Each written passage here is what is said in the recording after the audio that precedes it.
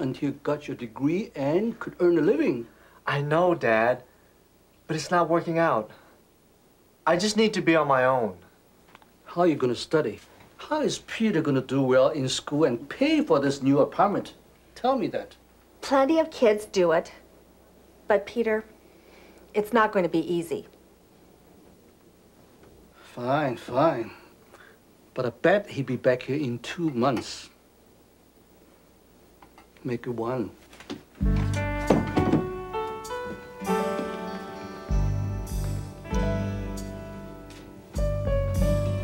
In your textbooks, that's pages 35 to 75. So remember, that's 40 pages for next week, and there will be a quiz.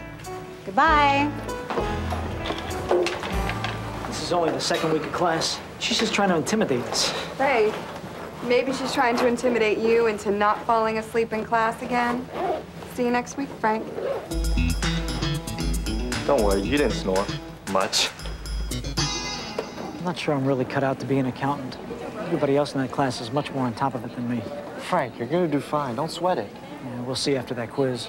Did you ask your dad if you could spare a truck tomorrow for a few hours? Yeah, no problem. I told him you were moving out, and he told me not to get any ideas. How did your parents take it? My dad was less than thrilled. Thinks I should be saving money. How about your mom? Well, my mom's great. You know, she's always by my side, and my dad's the one I gotta worry about.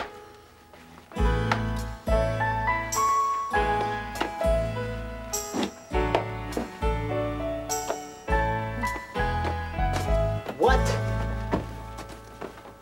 You're keeping this? Yeah. Wrong. Peter, you never even kept your own room straight.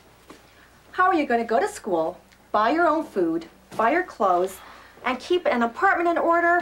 Well, it's beyond me. But I'm very proud of you. Thanks, Mom. Do you think Dad will come around? It's tax season. He's overworked, and your moving out just adds one more worry. You don't have to worry. I'm gonna make it. Well, determination's a good quality. It's, it's too bad you won't be able to afford maid service. I'll manage. You'll manage. Come on, you guys. Let's get going. Just want you to know, Pete, I'm working up a mean hunger over here. I think I packed the crackers. Crackers. I'm talking about burgers, pizza, maybe a steak, some chicken. What's your step?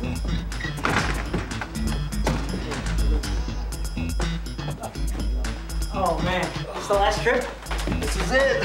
Party time. Oh, yeah. Is your service for 24 in this box? Nah.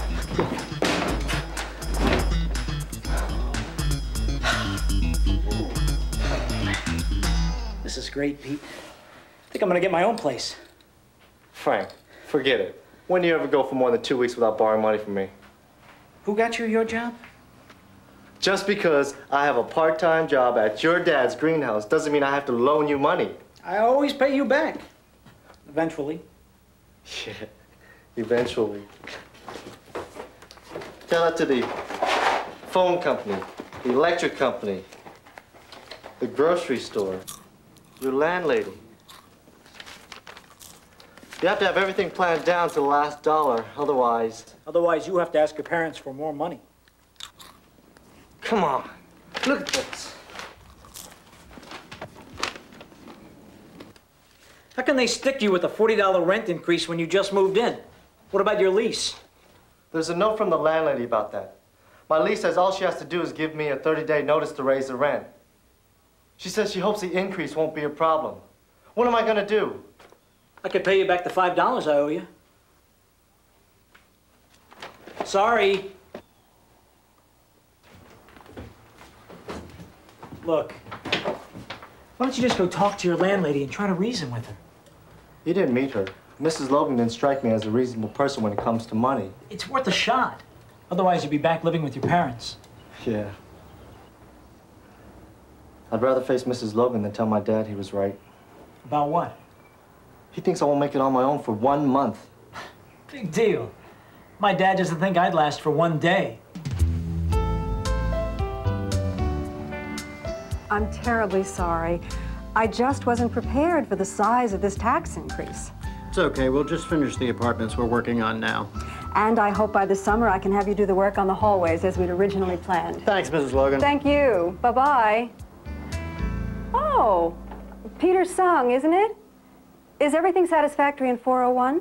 That's what I came to talk about. Well, come on in. You know, of course, we did paint before you moved in, and we checked the plumbing and the appliances. Oh, there's nothing wrong with the apartment, Mrs. Logan. It's great. The whole building's really great. And the grounds are in excellent shape. I should know because I have a part-time job in a greenhouse. Well, how nice of you to stop by and tell me how pleasant everything is here. You know, most people only stop by when they have a problem. Actually, now that you mention it, there is a small problem. The rent increase. Now, why doesn't that surprise me? You know, you are the third person to come by today to complain about the increase. It is a little steep. Oh, steep. Peter, you want to talk about steep. Now, just take a look at the, the whopping increase in my property taxes. Just look at that. And last year, I had increases in my utilities gas, water, electricity, plus yard and building maintenance. My costs have just gone through the roof. So you passed the increase on to your renters. Oh, believe me, I'm not happy about raising the rents. It makes it harder for me to fill vacancies when they occur. Why don't rents go up everywhere if there's a property tax increase? Well, in town, it's likely. And if people can commute, there are a couple of nearby communities that did not raise their property taxes, so their apartments are probably cheaper. I just hope it doesn't hurt my business. Well, Peter, thanks for your input. I understand what you're saying, Mrs. Logan, but do you think it's possible just to postpone my rent increase for a few months? You see, when I took the apartment, I thought the rent would be one amount, but now it's higher. Oh, and it could have been higher still. So be grateful for small favors. But I knew there was a limit to how much I could raise the rents. So, to cut costs, I've delayed improvements on the building. And I've also let my gardening service go. Well, thanks. I won't take any more of your time. Peter, wait a minute. Look, I, I know you're a student and you did just move in, so I'll tell you what. What? I'll let you out of your lease. Now, I, I will return your deposit, of course. Um, I still have some names on my waiting list. Um, so if you could be out by the weekend? No. I mean, there's no problem. I'll manage. I'm staying. Oh, well, I'm glad to hear that, especially since you like the building so much. Thank you, ma'am.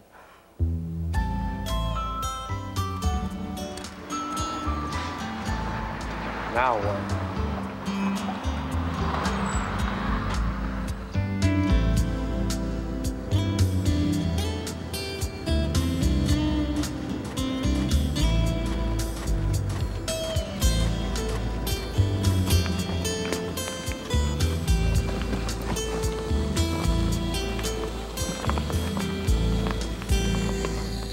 Good to see you so early, Peter. Oh, look, when you're finished, why don't you give me a hand with these flats, okay? Sure, Mr. Perini. Sure, Mr. Perini. Peter. Peter, I've known you since you were this high. What's up? You could tell me. Actually, I was trying to figure out how to ask you for a raise. A raise? You just started two months ago. I know, I know. Then maybe you could give me some more hours. I really need the money. No way, Peter. I just got hit with a big property tax increase on my business and on my home. As a matter of fact, I was trying to avoid cutting back on people's hours. Come on. Why don't you tell me what this is all about? Come on.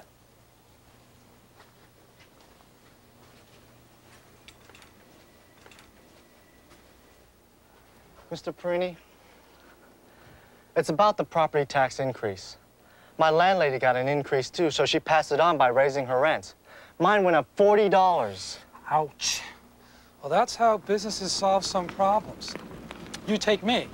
I could pay for a tax hike by raising the prices a little and by taking lower profits. But that still doesn't put me in good position to give raises or add more hours. My problem is I worked everything in my budget out to the last dollar. And the rent I thought I would be paying was all I could afford. But now it's $40 more, and I don't have it. I wish I could help you out. I used to think business taxes were just paid by, you know, businesses. Sure, but uh, you unfortunately learned that those taxes can be passed on to customers or renters. I think that's what's called an indirect tax. Exactly. A business sends the money to the government, but the business gets money from people who pay higher prices, or get lower wages, or make lower profits. Those are the people who really pay the taxes. Come on, Peter, help me out with this, okay? Yeah. Well, when people say that businesses should pay more taxes, it's those people who are really the ones who end up paying in the long run. Now, there are taxes called direct taxes that can't be passed on. I mean, like income tax. I guess the only way to avoid is not to earn income. exactly. Or it's like the property taxes on my house. Who could I pass them on to? Myself. I'll just have to cut back on some things. Uh, hiya, Pop.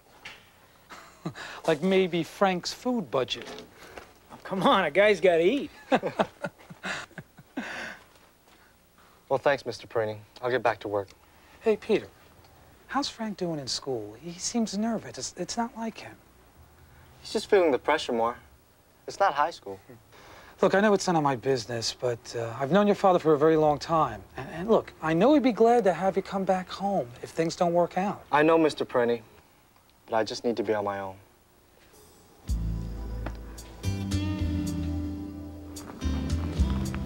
Yeah, starving, but on my own.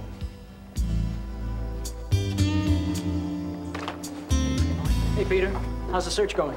No luck. What are you searching for? A new apartment, one he can afford. Yeah, but rents have gone up all over town, just like my landlady thought. Hey, that's my lunch. You eat popcorn for lunch? It's cheap. Good afternoon, everyone. Kevin, you want to plug this in for me? Thanks.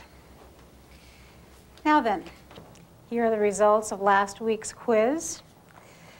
On the whole, the class did fairly well, but I'd like you to pay special attention to the video today because it's going to cover some of the material that many of you are weak on. Oh, and I would like to offer my congratulations to the one perfect paper in class to Mr. Perini. Frank, you fooled me. I could have sworn you were sleeping when I presented that material. Okay, then. Open up your notebooks because this material will be on your final. It's about direct and indirect taxes.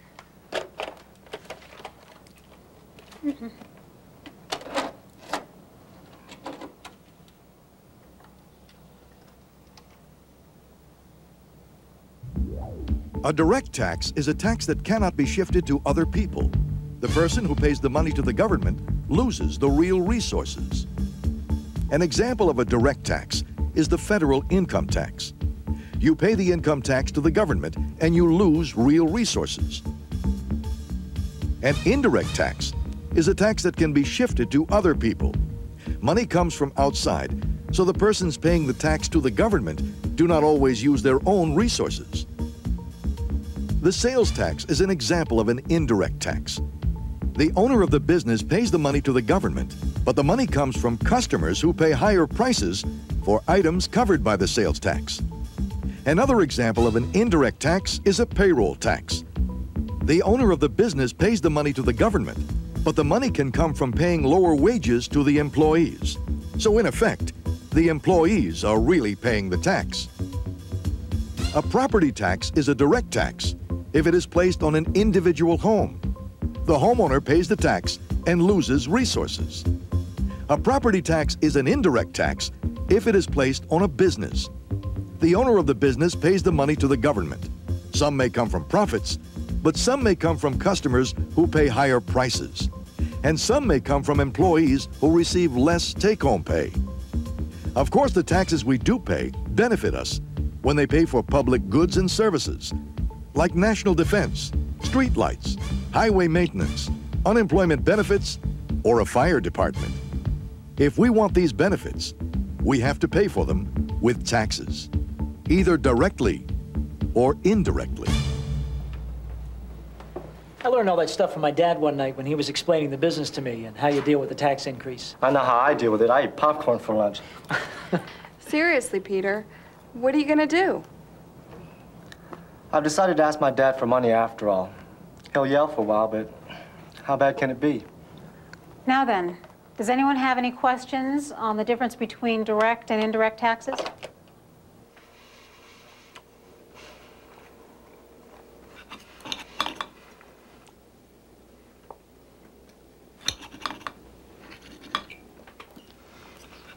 More meatloaf? I've really missed your cooking, Mom. I'm sure you have. Now, Victor, please don't start. I didn't say anything. And you weren't saying anything when you bet Peter that he'd never last more than a month on his own, I suppose? Peter's grown up now. He knows how to take it. Dad's right. Doesn't bother me.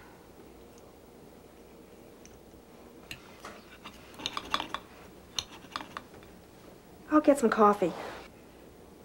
I'll clear the table in a minute, Mom.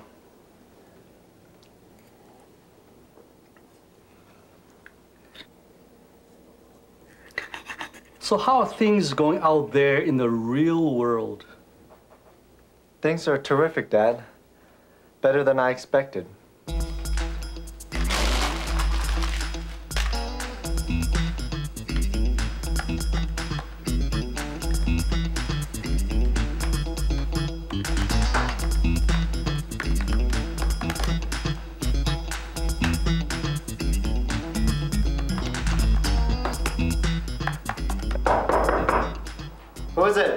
Peter, it's me. Come on in. Where were you? You're supposed to meet me at the student union.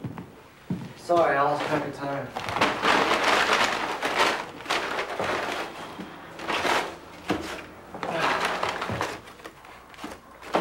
Thanks for bringing lunch. This is dinner.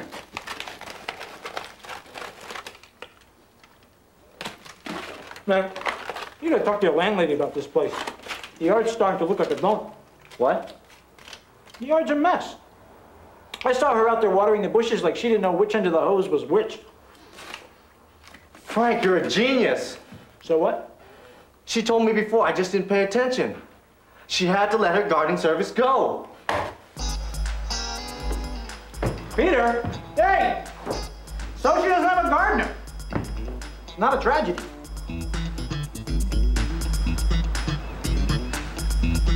Mrs. Logan. Whoa, Peter! Oh, I'm sorry. Be careful, these things I'm can be so dangerous. sorry. Oh, I'm interested in taking care of your yard work. my yard work. Yeah. I'll take care of the watering, the planting, the raking, the mowing. And in the winter, I'll do the snow removal and salt the walks. Well, it has been more difficult than I thought trying to get along without a yard service. People are starting to complain.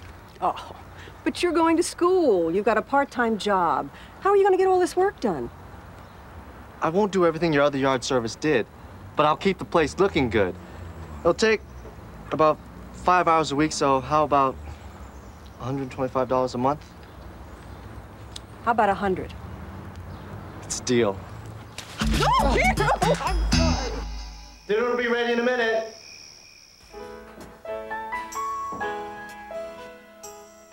Peter, forget what I said about maid service.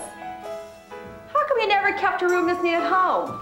Because I knew if I waited long enough, you'd do it for me. Thanks a lot. Not bad. Not bad at all. It's a very well-maintained building, especially the grounds. Yeah, there's a new gardener. Very good. So what's cooking?